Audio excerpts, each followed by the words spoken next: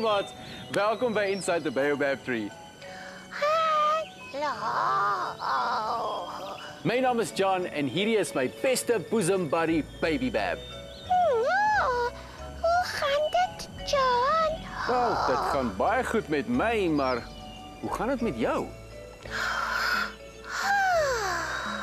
Ja, oké, dankie. En maat, hoe gaan dit met julle vandag? Wonderlik. Ek is so bly om dit te hoor. Oh, ja, wat? Oh, seker maar. Oh, O, senuwees. amper vergeet ons om vir ou Baobab hallo te sê. Sjoe, jammer. Hallo Baobab. Hoop dit gaan regtig goed vandag. hallo, Baobab. Ag nee, baby Bab. Wat gaan aan met jou vanmôre?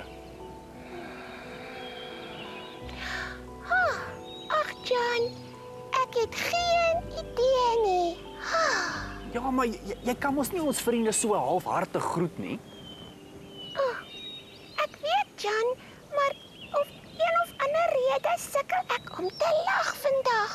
Oh, Wow, dit klink ernstig. 'n Dag sonder lag is 'n dag wat kan wag. Ja. Maat, ek dink daar is groot fout met baby Bab.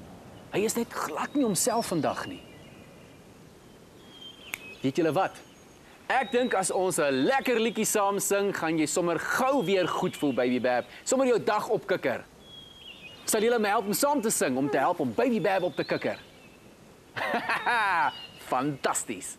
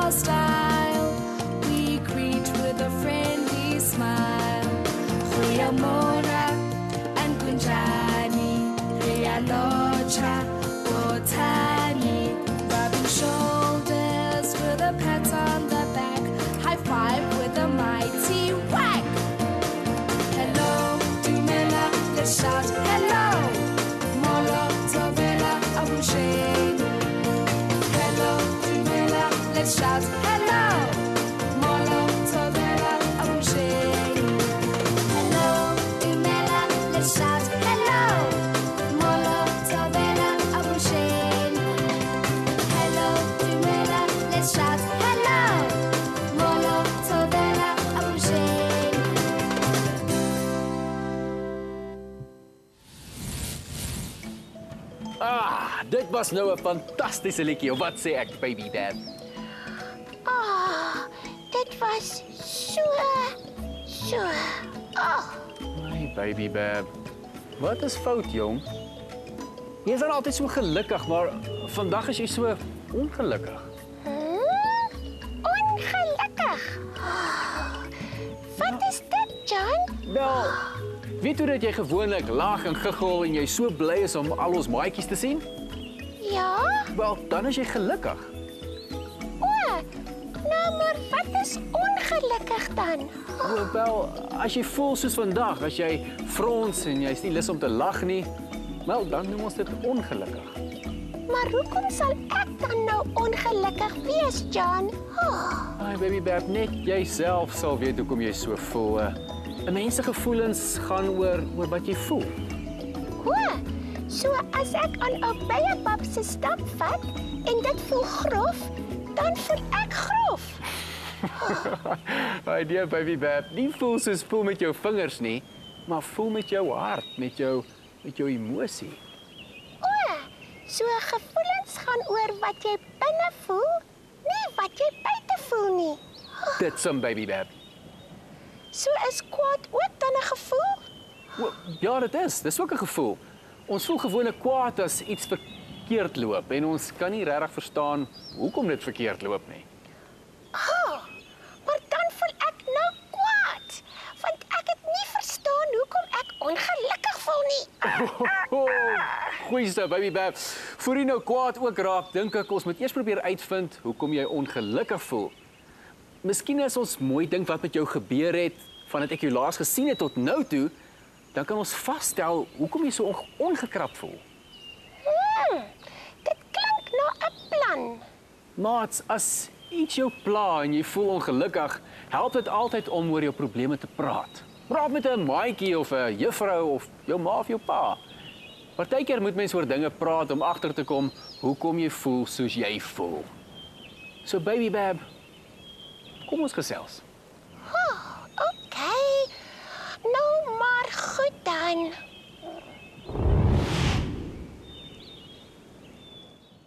Ek voel ongelukkig. Ek is nou sommer kwaad.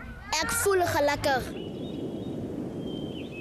So baby bab, wat het jy gister gedoen nadat jy ons maatjies gegroet het? O, oh, ehm um, ek het 'n bietjie in die bos gaan rondloop. Nou, dit klink lekker. Hmm, dit was Jan. Ehm um, ek het ook 'n paar bessies geëet. Oh, maar dit klink baie lekker. Dit kon jou sekerlik nie ongelukkig gemaak het nie. Hmm, glad nie, Jan. Ek voel altyd gelukkig as ek lekker bessies eet. Hmm. Oh. Nou, wat het jy daarna gedoen? Um, ek het hier by ou Beyebab kom inklim en lekker geslaap. Oh, en nou is dit vandag. Dit klink nie asof dit enigiets is wat jy gedoen het wat jou ongelukkig gemaak het nie, baby bab. Wat dink julle, maats? Dit is nou werklik waar vir my 'n raaisel. Ek weet. Baby Bab lag altyd lekker as ek hom kielie. So, miskien as ek vir Baby Bab kielie.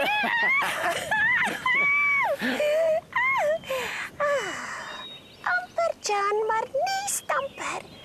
Ek voel nog steeds ongelukkig. Oh. Vasbyt Baby Bab. Byt vas. Ek het 'n gevoel ons gaan jou frons sommer gou weer in 'n glimlag verander. Oh. Ek hoop so, Jan. Oh.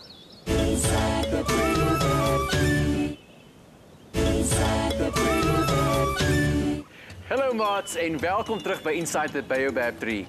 My naam is John en ek is hier saam met 'n baie ongelukkige baby bab. Hallo. Maats, ons het nou al gewonder en kop gekrap om te probeer uitvind hoekom baby bab so ongelukkig voel vandag. Baby bab, kan jy onthou van watter tipe gevoelens ons geleer het vandag? Hmm. Ons het gepraat van gelukkig voel en van oh, ongelukkig voel. Oh, o ja, uh, van kwaad voel. Dit is uh 1 2 3 gevoelens. Ja, dis heeltemal reg baby bab. Ons het van drie gevoelens gepraat. Ons het gepraat van gelukkig, ongelukkig en kwaad. Nou ons het nou al probeer om te gesels oor baby bab se dag en kyk of dit hom te laat beter voel. Ek het hom gekielie, maar dit het ook nie gewerk nie. Hmm. Wel. Oh, wat van 'n storie, Jan? 'n Storie. Maar natuurlik, 'n storie laat jou altyd gelukkig voel.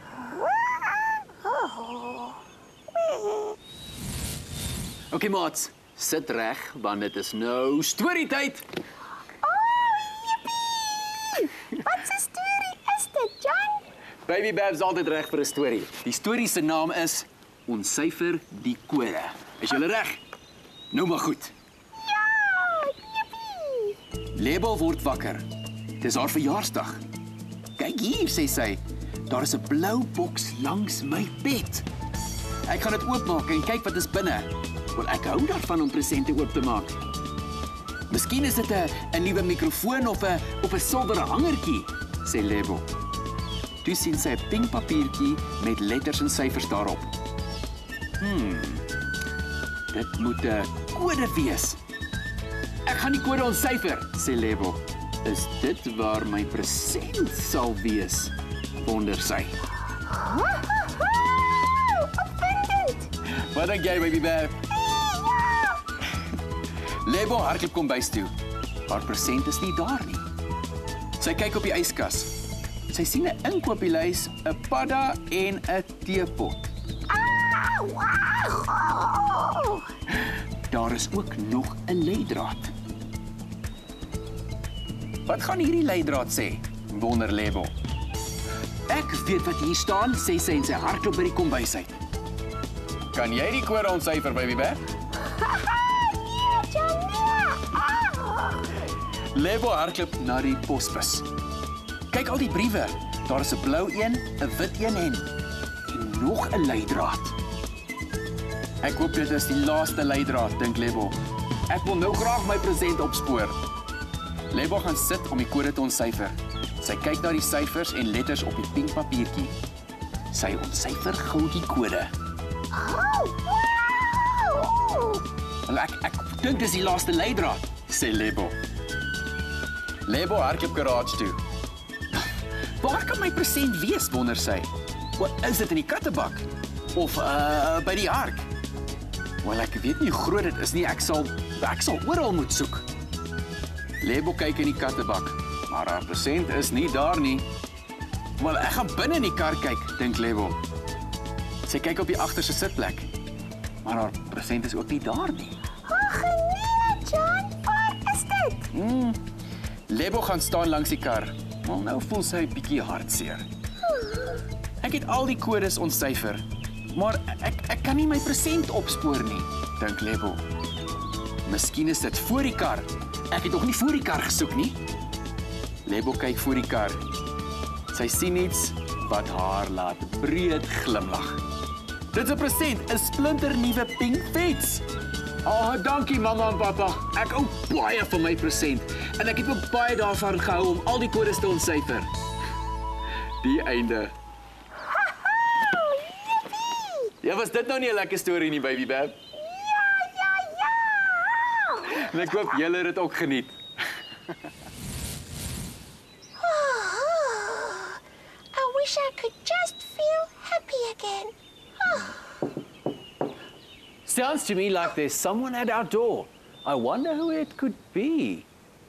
Friends, could you maybe guess who's knocking on our door? Ah! Maybe it's Nolo. Let's see who's at the door. Let's see who's at the door. Let's see, let's see, let's see, let's see, let's see who's at the door.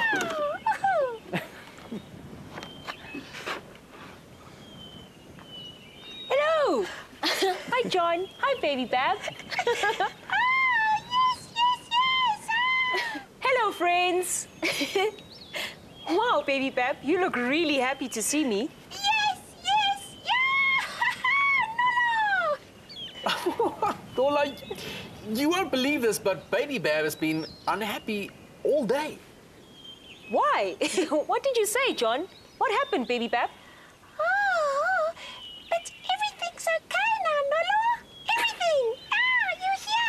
We really had to think hard to try and figure out why Baby Bab was so unhappy today. And I think I know what the problem was. Oh, really, John? Do you really know what was wrong with me? well, I think so. We spoke about your day and it didn't help much. Mm, just a little bit, but not really. And then I tickled you and that didn't help either. Oh, yes. But what made me unhappy, John? I think you were missing Nolo, and that was what made you so unhappy. But now that Nolo's here, you are happy again. yeah, I think you're right, John. Oh, I did miss Nolo a lot. oh, baby Bab, I'm sorry that I had to go away, but you know, I'll always come back for you. oh, speaking of leaving, I just had to stop by really quickly. I have to go, but I'll see you guys again soon, okay? Don't miss me too much, baby Bab. Oh, no, no, don't worry. I'm feeling great now. Goodbye Nolo. We'll see you later. Bye. Bye, friends. Don't worry, baby Bab. She'll be back real soon. Now there you have it, baby Bab. You were missing Nolo this entire time. sure, John. We really dealt with a lot of feelings today. Yes, baby Bab, we did. Can you remember which feelings we felt? Ah, yes, John. Mm, I remember I was very unhappy. And then you felt a bit cross. Now I'm feeling ha, ha, ha, ha, ha, very happy. It's good to see you laugh again, baby Bab. yes, it's so nice to laugh. Ah. Can you tell me which letter the word laughs begin with? Oh, uh, uh, mm, mm, uh, la, la, la, la, la, la. You're right, baby Bab. Lots of laughter begin with an L. And it looks like this. Ooh, ooh. You know what, baby Bab? I'm feeling another feeling. A feeling of relief. What's that, John? If you've been wondering about something for a while and suddenly you find the answer, then you feel relieved. Shoo! Feel relieved. Oi, baby Bab. Encyclopedia Encyclopedia Who can it be?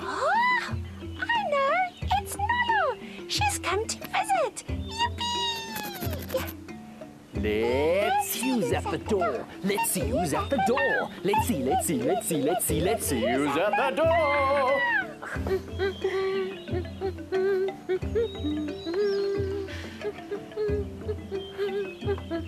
Oh, hi, John.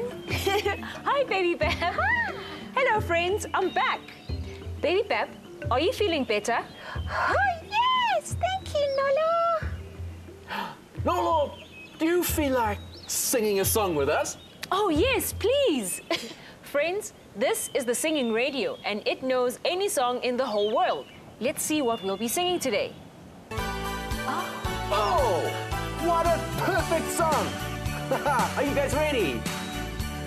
As jy ongelukkig voel en het 'n slegte dag, 'n lekker liedjie en dit sal jou weer laat lag. Hey!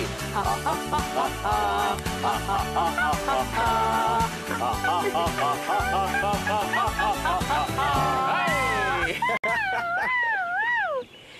Please, can we do it again? That was such an awesome song. Please. Oh yes, Nolo, can we sing it just one more time, please? Mm, of course.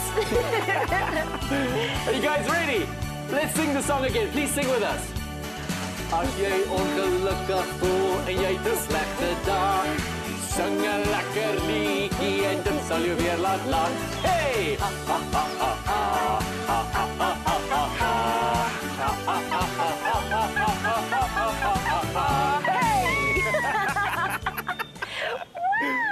You've just made me the happiest bush baby ever. Ow!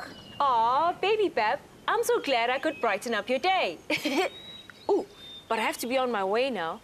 Oh, Nolo.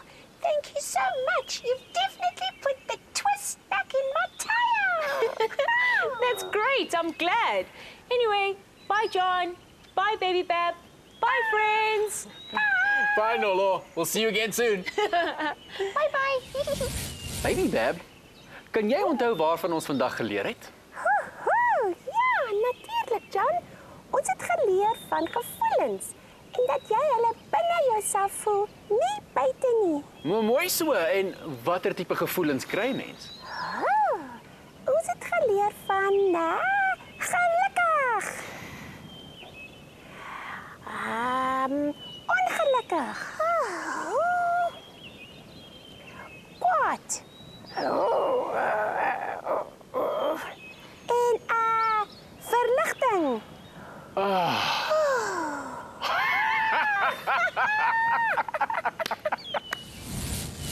Wel, baby Bab en maats by die huis, ons tydjie saam is amper verby. Ah, oh, ag nee. Ek hoop julle het vandag se storie en kunsttyd baie geniet. Ja, ja, ja.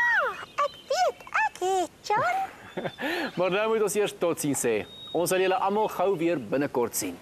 Oh, beloof. Ek beloof, baby Bab. Voor jy oë uitvee kuier ons weer lekker saam met al die maatjies by die huis. Tot 'n volgende keer. Totsiens. Okay. Sien vir jou en jou en jou. Totsiens.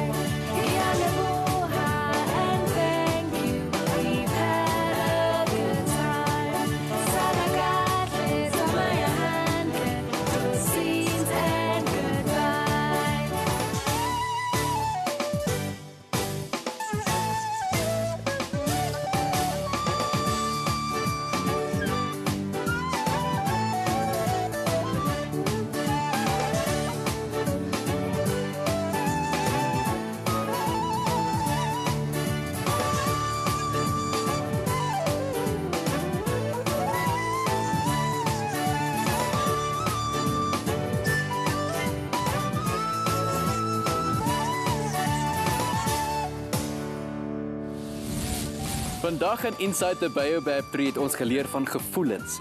Gevoelens is iets wat ons binne in onsself voel en nie iets wat ons met ons vingers voel nie. Ons het geleer van ongelukkig voel, gelukkig voel, kwaad voel en van verlig voel. Nola het twee keer kom kuier en sy het vir Baby Bab weer gelukkig gemaak en ons het 'n lekker lawwe lag liedjie saam met haar gesing. Kom kuier gerus weer saam met ons hier by Inside the Baobab Tree. Totsiens.